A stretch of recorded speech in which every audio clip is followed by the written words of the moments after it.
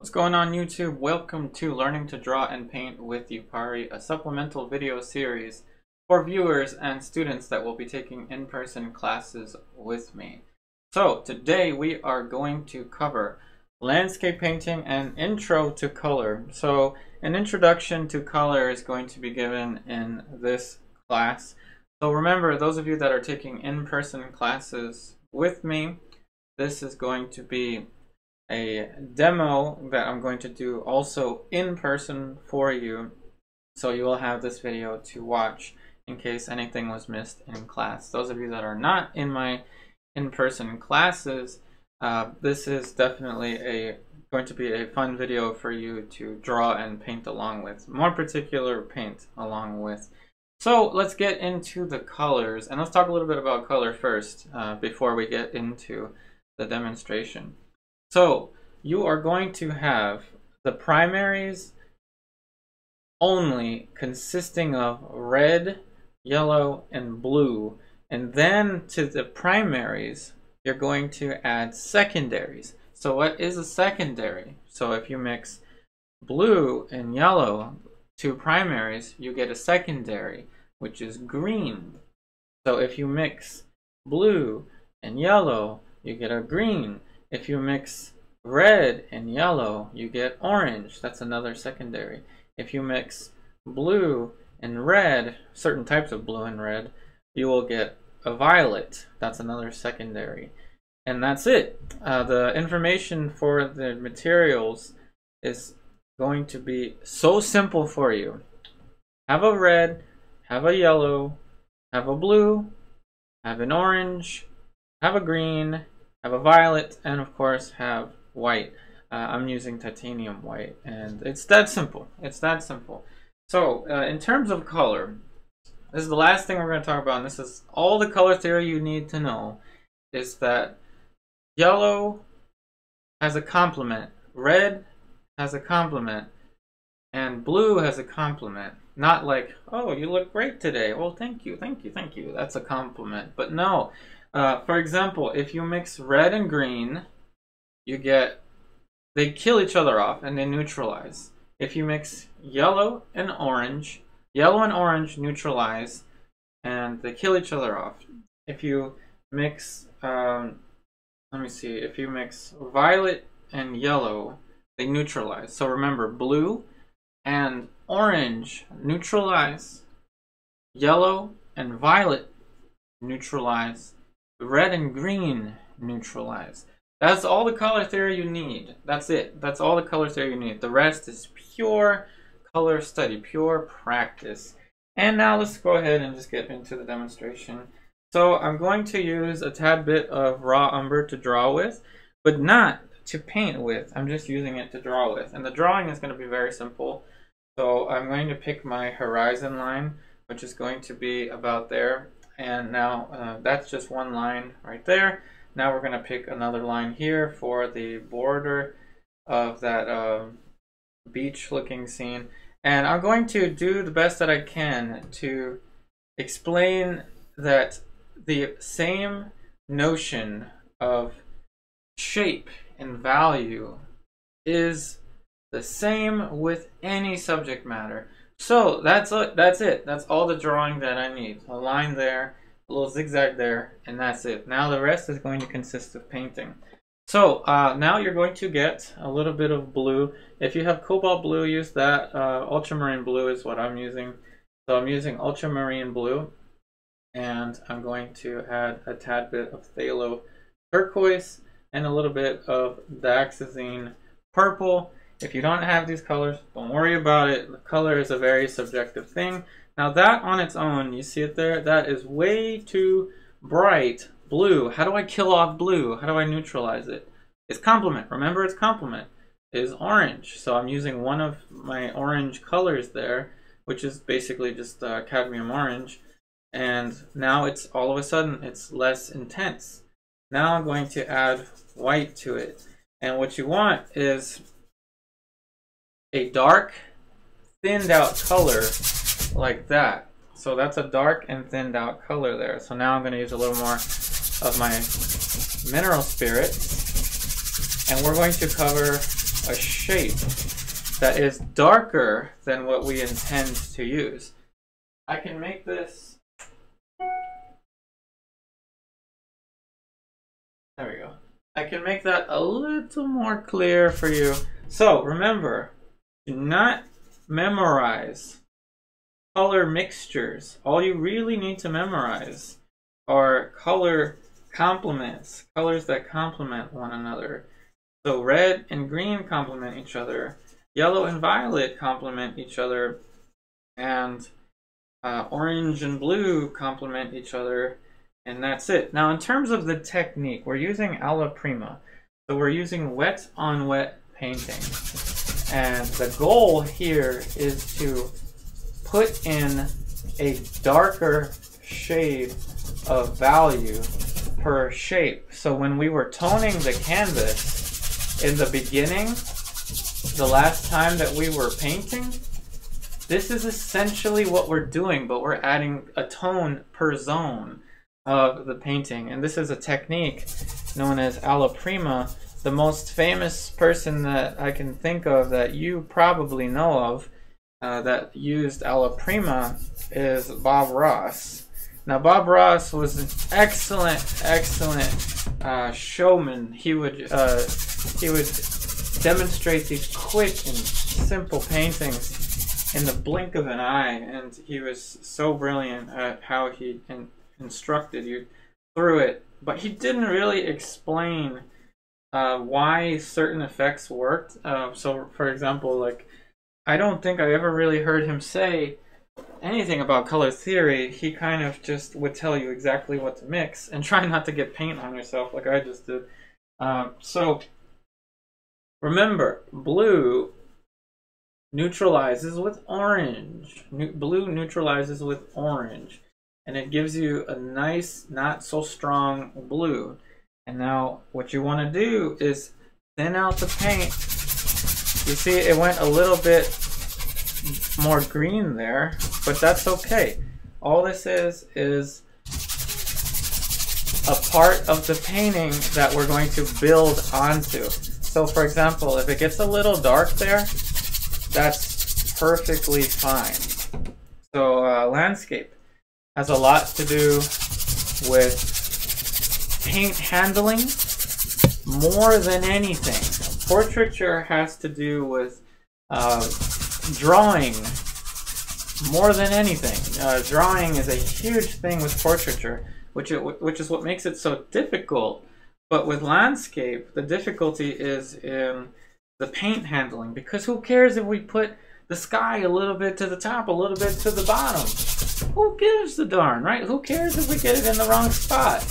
Uh, but the technical wizardry of getting something to look like something now that is the magic in landscape. So now that we've covered that shape right there, now we're going to cover something here. And now we're actually going to mix right into the same mixture. Now, a lot of you hardcore landscape painters out there are watching this and you're like, but he's not doing this in plein air. And in fact, I'm using a reference to a John Constable painting, which is in the link in the description box of this video. So once again, I created this brownish color and look at this. I can go a different route. I can go yellow and violet. Yellow and violet. Cadmium yellow and dioxazine purple. They neutralize each other pretty nice. Uh, pretty nice. And I'm going to thin out the paint. And yes, this is going to look really dark. And you're like, what is he doing? Is he, is he mad? Why is he adding this dark? And I'm telling you, from your technical learning. Follow along with these steps and trust me.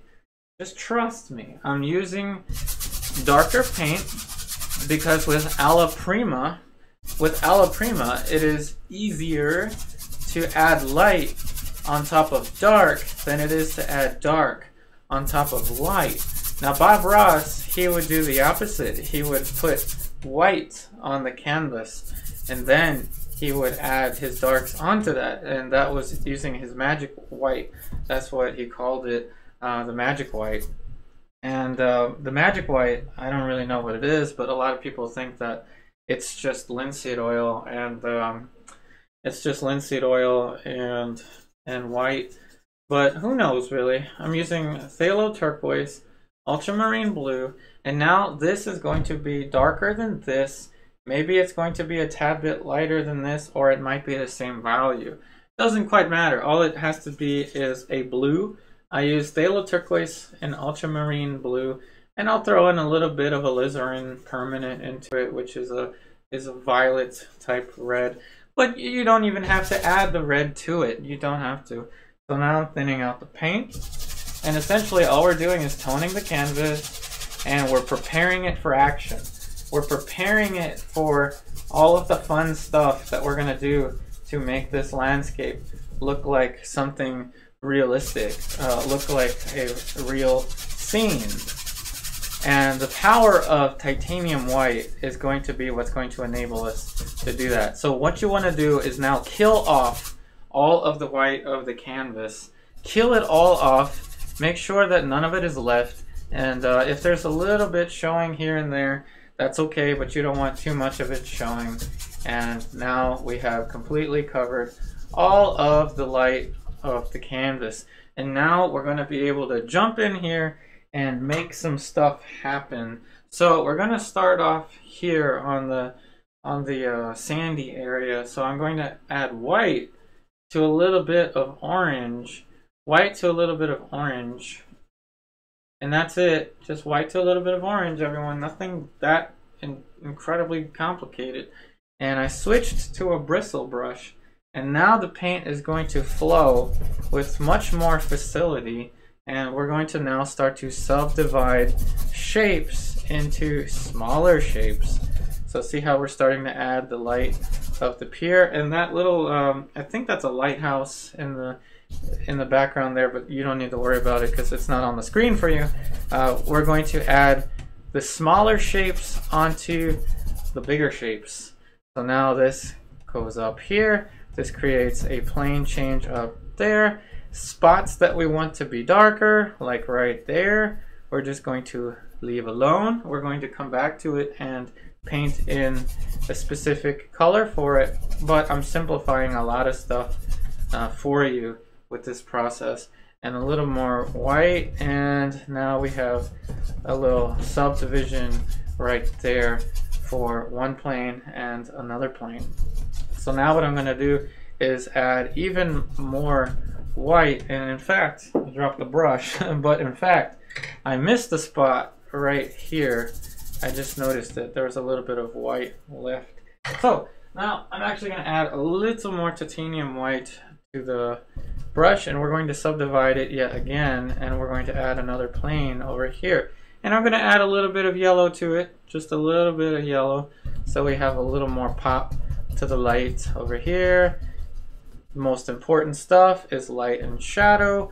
We're going to talk about more complicated things like atmospheric perspective and linear perspective later on, but just trust me, uh, I'm keeping this very simple, as simple as I can possibly keep it. Now I'm forming that little shape there. And now what we're going to do is we're going to switch brushes here. And we're going to get pure titanium white. Pure titanium white. And we're going to run across the horizon line. Just like this. Remember I said this is a, the paint wizardry.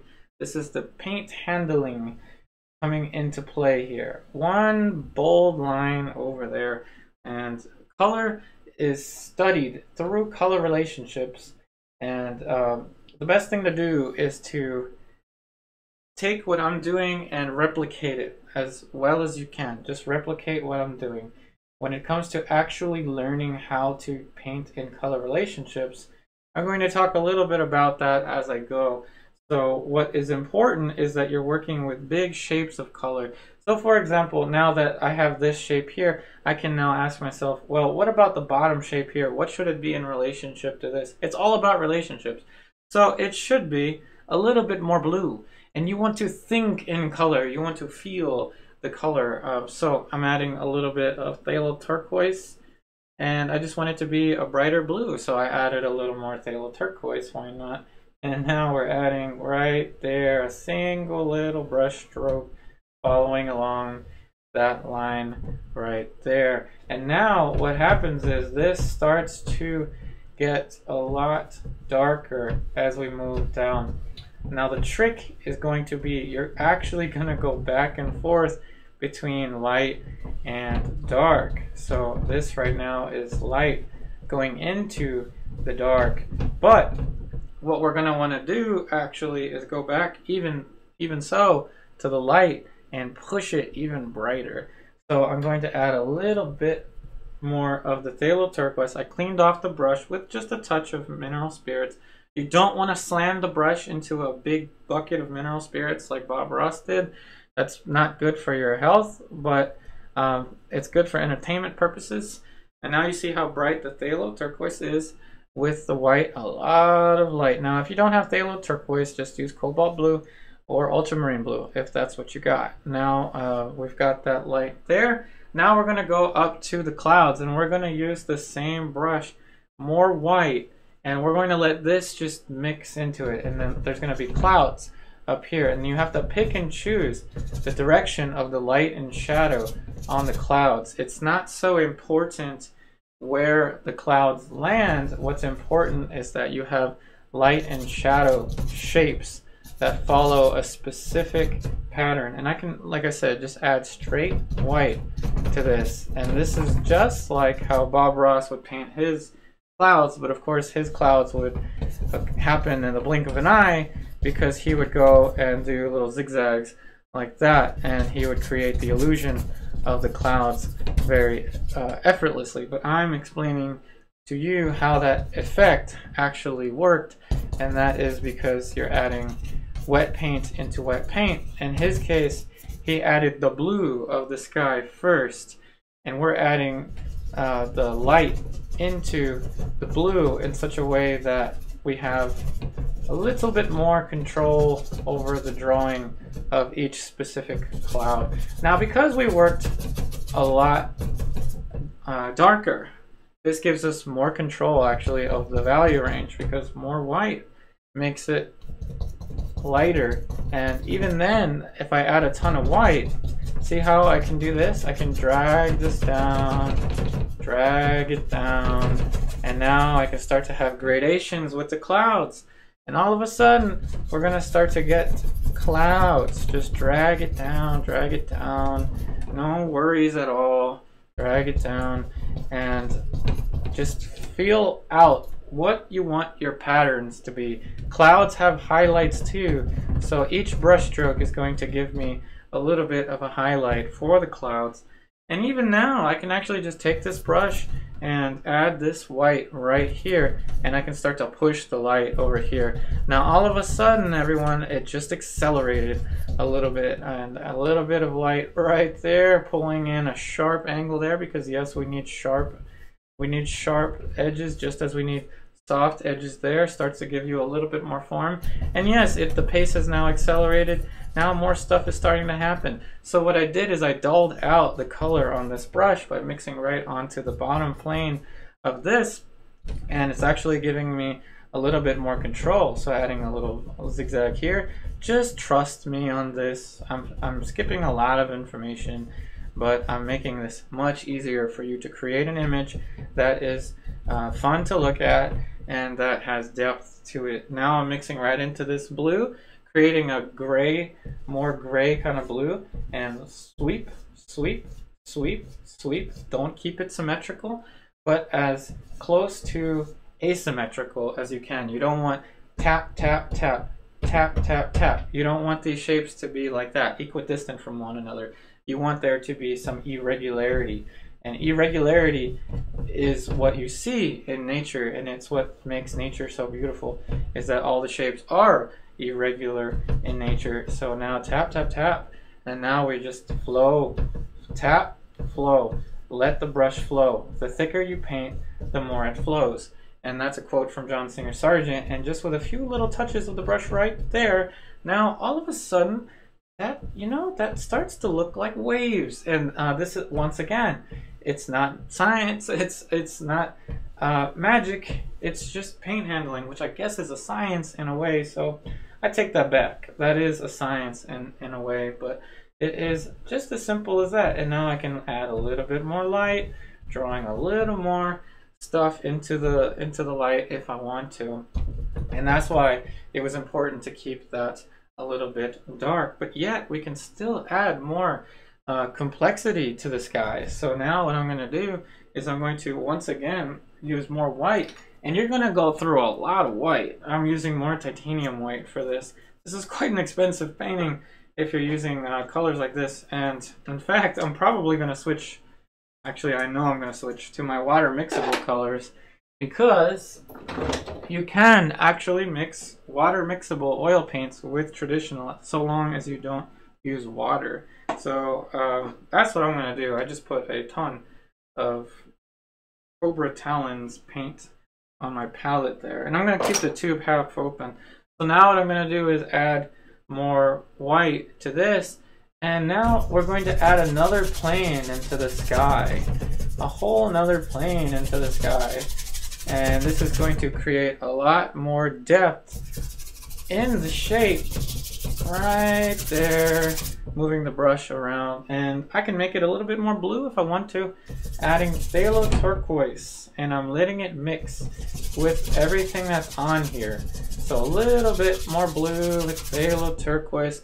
Phthalo turquoise is a beautiful color to use for this stuff because it is so vibrant it's got some yellow undertones and now we're mixing it into what is already on the canvas and now we'll add more white in here and all of a sudden now we have more clouds, more volume to the clouds like that because we have plane against plane and that creates the clouds. Plane it, uh, plane against plane creates the effect that you want. The more planes that you have, the more elegant your painting is going to be. Whether it is a landscape, whether it's a portrait, a still life, doesn't matter. Planes are going to be what's going to give you that effect. And so now what we're going to do is we're going to add a little bit more of the phthalo turquoise into the background area right here, the background area of the sky. And now we're going to get into the smaller shapes and working our way around the sky like that gives us complete and total freedom to work your way around, release some energy. If you had a rough day at work or something, this is a great exercise. Just slam, just move the paint around. It's a very freeing thing to do. It's a lot of fun. And now, uh, now we're going to close in on the shapes for the sky. So now I'm going to stand back I'm going to blur my eyes at my image a little bit. And now I'm going to pick and choose some areas to start to add more white to.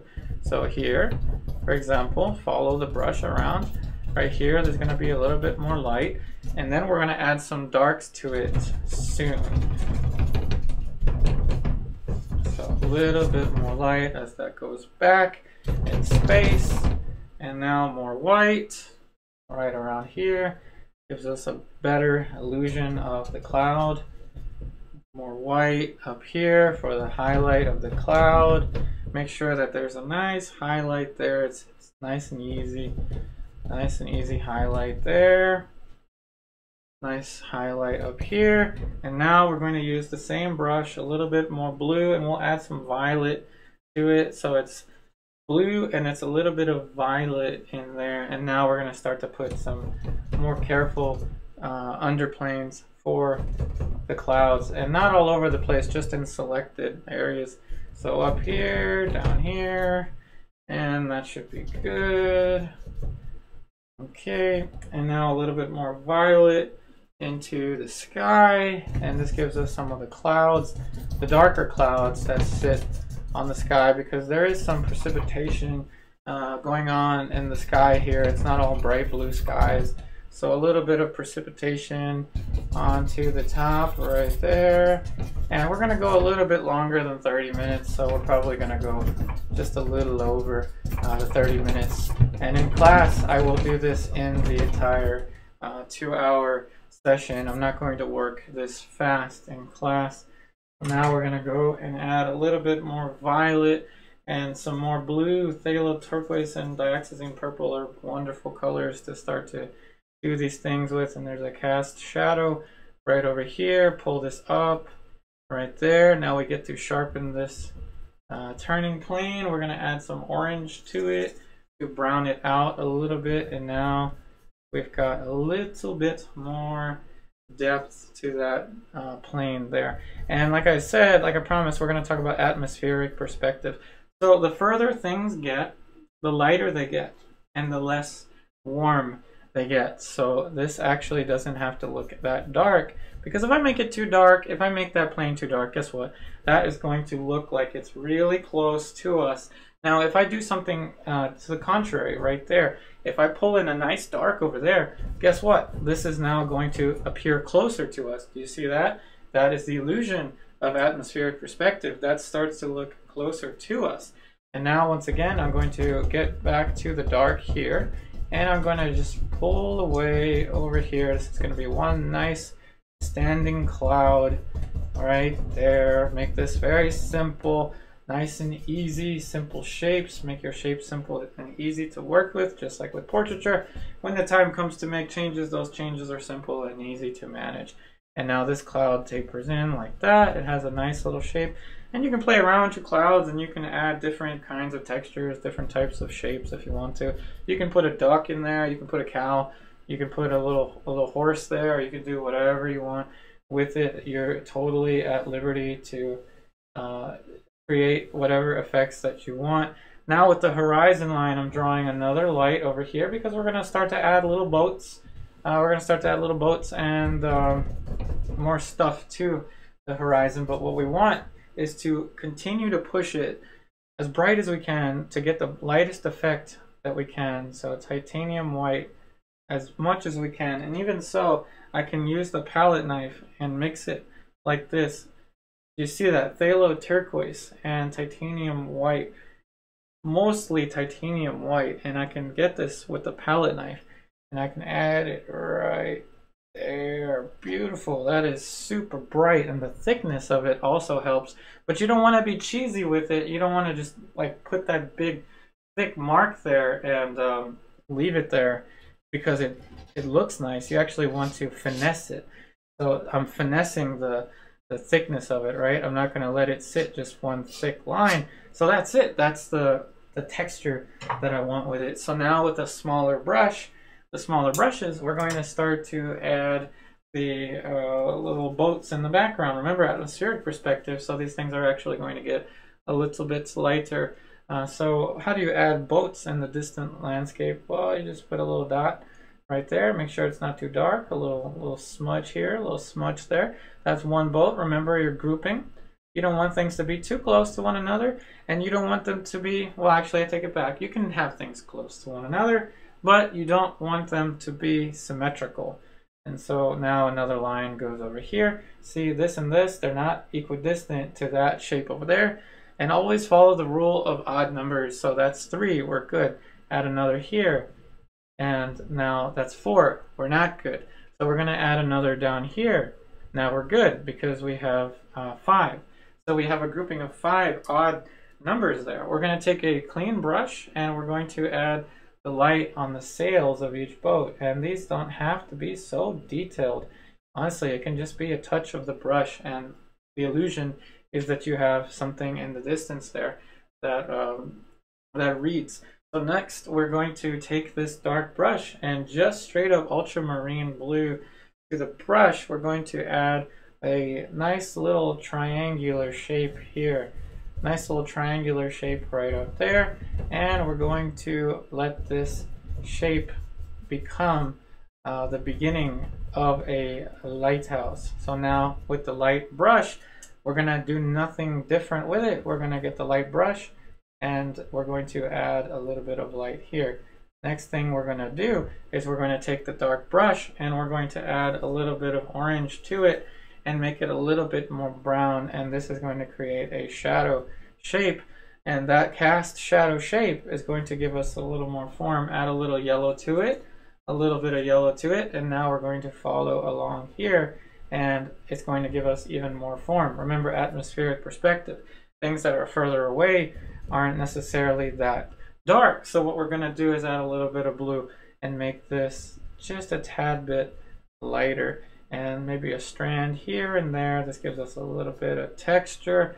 We're going to throw in a highlight on the front of this little thing, a little, little house right there. That gives us a, a little highlight there. We're going to take the dark brush, just like with portraiture, going between light and dark as frequently as we can and keeping it as organized as we can.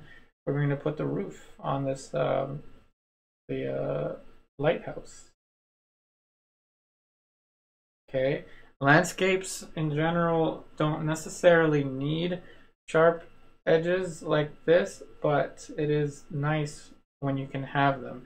When you have a, a physical object in the in the painting that has some kind of substance to it uh, in terms of geometry, you know, like rectangles and squares and things like that. So there's a little line coming out of that right there, and it looks like a structure from the distance. That's all we want is for it to look like a structure from the distance. And now we're narrowing it down. We're getting closer towards the end of this little demonstration. So we're going to add a touch more light right here. And now we're going to finesse everything. We're going to kill off things that we don't want to necessarily be that dark.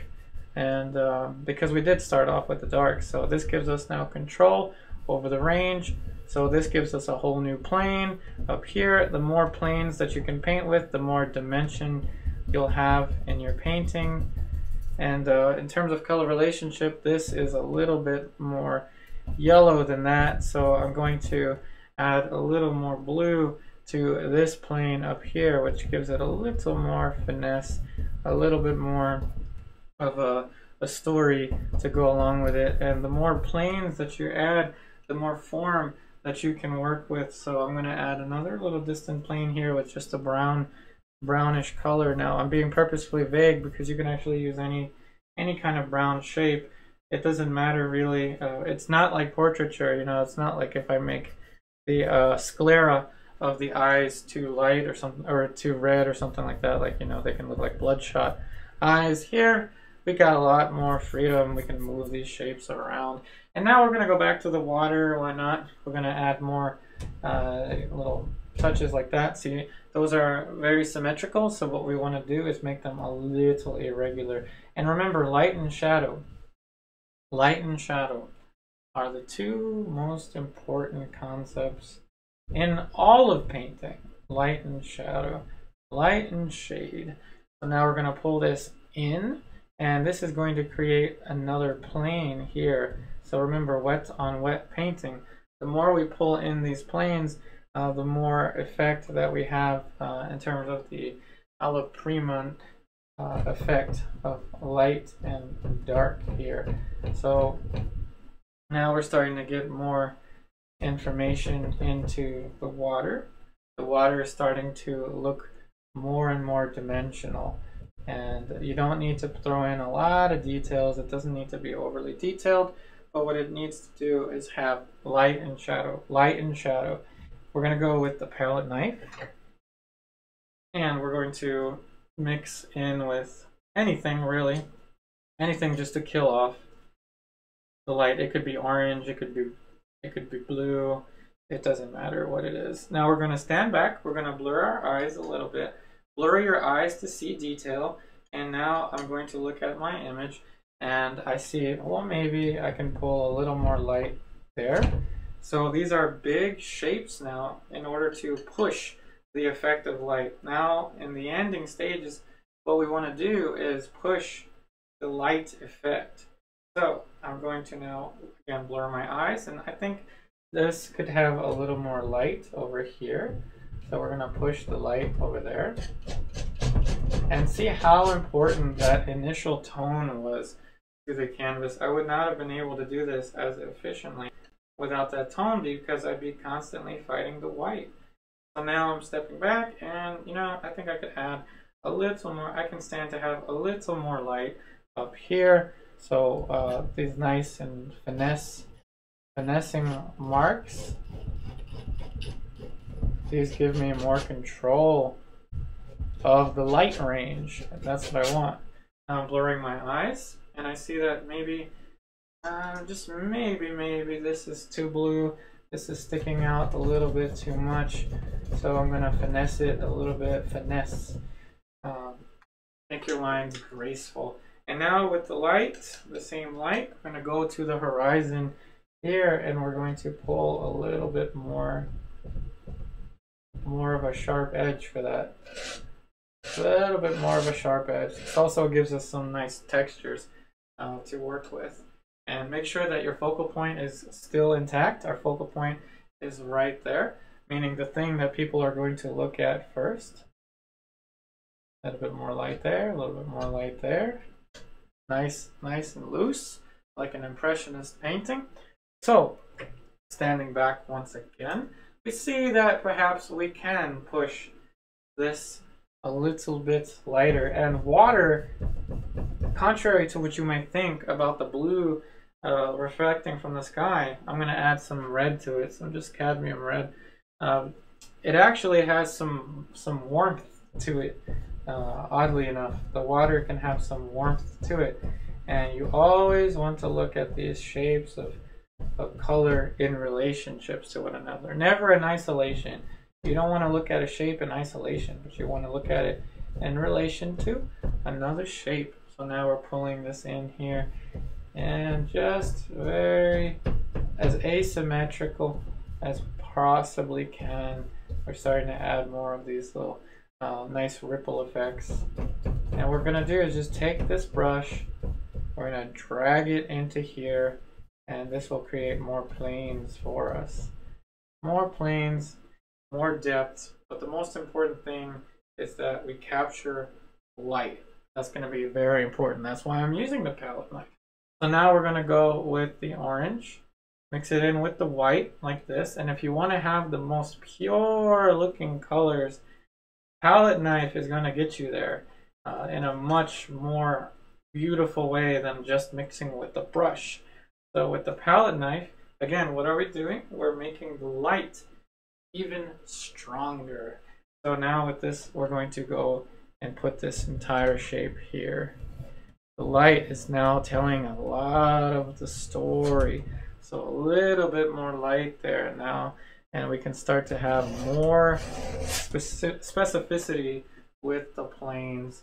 And um, being able to uh, have the power of light in your paintings is what impressionism was all about. And this is more uh, towards impressionism even though we can take it more towards realism if we want to.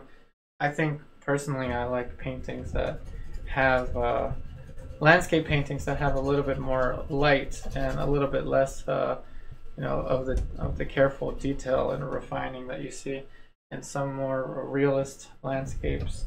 Uh, but I like it all really. It's all it's all fun for me.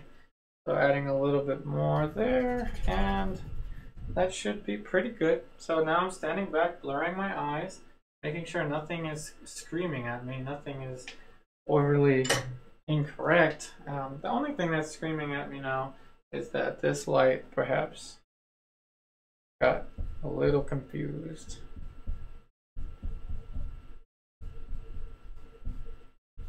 And uh, let's see. We're pretty much there.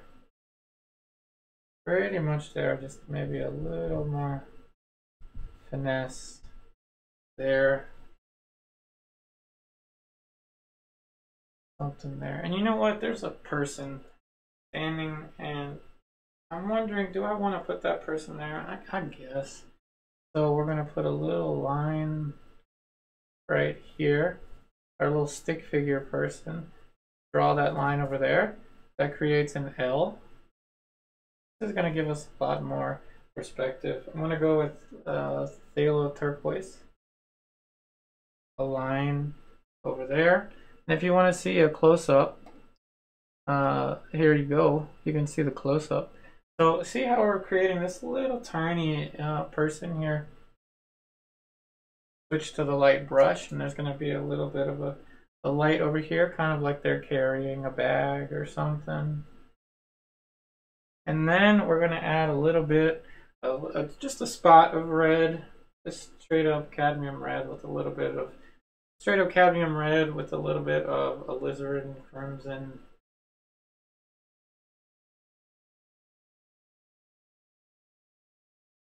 And then we're just going to add straight up cadmium orange. The light and shadow.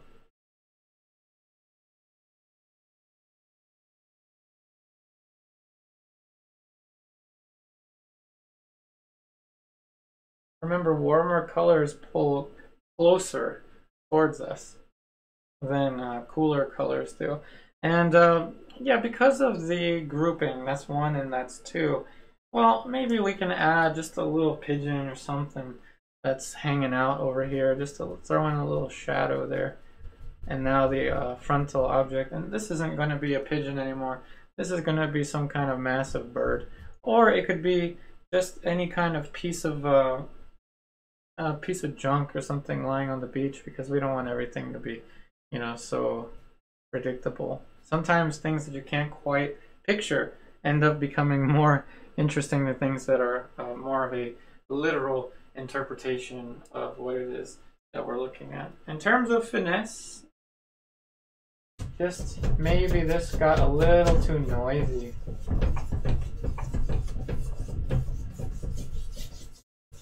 So calming it down. A little bit of phthalo turquoise. Or just ultramarine blue, whichever. And we're to give a nice little ridge to these shadow, or to these clouds, the shadow around the clouds. You see how, how that, you see how that creates a little bit more, a little bit more depth. Like I said, we went a little further in this landscape than I initially thought I would.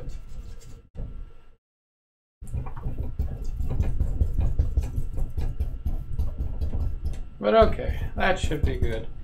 That should be good. That's our little landscape. We painted it in about 42 minutes. A little bit longer than I thought it would take, but it was uh, definitely a lot of fun to be able to put all these shapes together. And now we have a nice landscape scene uh, to work with. So remember, this is a supplemental video series for viewers and students that will be taking in-person classes with me. The reference that I looked at, which I didn't perfectly copy, I just looked at, uh, to create this landscape is in the description box of this video. I will put it there so you can see uh, the reference. There's also going to be the syllabus there uh, for students so you can see what we will do in class or what we have done in class. And that should be about it. If you want to take classes in person with me, also check out the link in the description box of this video so you can uh, take a look at where I'm teaching in-person classes if you live in the Maryland, DC, Virginia area. I wish you all the very best in all of your artwork, and I'll see you on the next one.